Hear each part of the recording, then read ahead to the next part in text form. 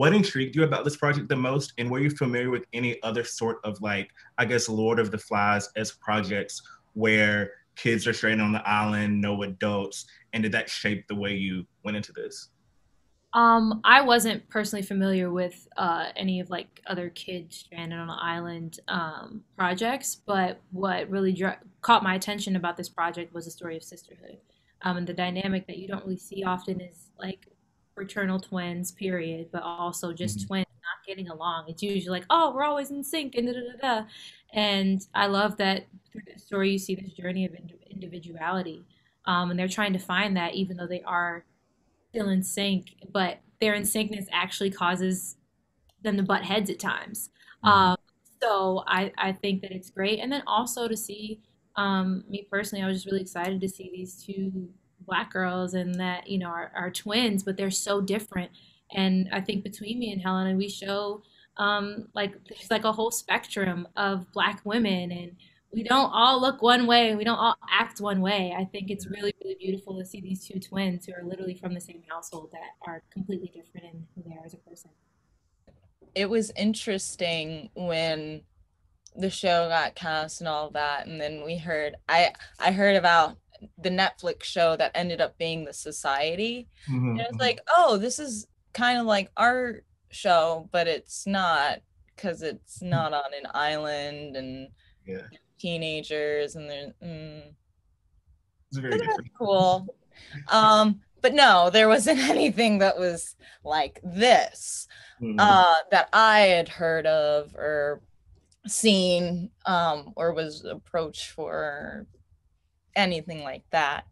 Um this was definitely very original very fresh very new uh and stood out for a plethora of reasons um but one main reason being the diversity uh, and the stories um, that all of these people have, you know, and it doesn't matter that they're female um, because it, they could be men and they could have the same exact stories. It, but the fact that they are female changes the dynamics, and you'll see that in the show you know? Um and that's why you know it's not lord of the flies. It's not lost where it's um co-ed. It's strictly female. It's mm-hmm. not men. It's strictly female. Why? Because we'll see what happens when females from all different walks of life come together and are put in different situations what are their strengths what are the weaknesses that society would say are their weaknesses, right? What do they learn about themselves in these situations? What do they learn about the other person? How can they contribute to the group dynamic, to the community? Um, and uh, yeah, that to me spoke volumes. And Reign, you kind of touched on this um, a little bit earlier about the fact that, you know, I believe that oftentimes, you know, black actors, black actresses, actresses of color don't really get to be in a space like this, on a show like this, and playing roles like this.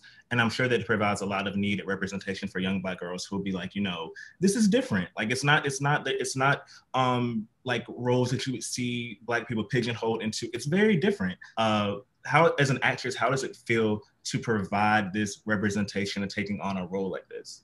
Oh, it's huge. This is my first project where I've worn my natural hair out for it. Wow. Um, and you know that I, am excited to do that. I'm excited to start the conversation of um, how our industry needs to do better about uh, knowing how to do textured hair on set. You know, and I was really happy that this show was like, yeah, let's wear your natural hair, and let's do it, and let's commit to it, and it's just as important. You know, um, and also between me and Helena, we have different hair textures but it doesn't change. Like we're not any less black, you know what I mean? And we're we're two versions of a culture, and it's it's really beautiful to see. Um, and so for me, it's it's just also our characters are just um, so complex and layered, and it shows the humanity in Black culture. Um, and that these girls, they're girls, and they're going through things just like anybody else and um, you get to see us in that light. And I, I'm forever grateful for that. And I think it's one of the most beautiful things. Having a platform like this where we are so different, but we are coming together and telling these stories, right? And we look different, but we look the same. Mm-hmm. But it's like, no, we're two different people and we have different experiences and we are part of the same culture but that is the beauty of it because like there is so much to me and there's so much to Reign. And like just because you look at someone and assume one thing that doesn't make it okay right? And i think that's also part of the show that like judging a book by its cover. That's another theme a thematic element right? We're so quick to judge and not give a person a chance to speak and tell before actually making that decision finite that judgment.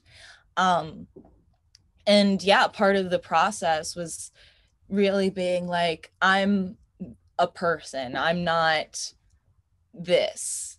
And like it was really great because I think Nora and Rachel are more than the token black girls, mm-hmm. you know, and we are also really strong characters on the show. Everyone are really strong. But with that being said, I don't want someone to watch it and be like, oh, yeah, these are the two sisters who are whatever because we don't it's it's it's whatever you know? I think it's cool that you're seeing you're actually seeing like these girls from black culture but they're human beings you know what i mean? Like it's not you're not diving into black stereotypes. Yeah. I, you know us me having super super tight curls and her having super loose curls is just a matter of who they are. It's a part of who they are as a person and so, it like there, a lot of people don't know that you can have siblings with two completely different hair textures. Yeah. Like, so, like it's so diverse, and I love that we get to showcase that and just show these two girls being being girls. You know.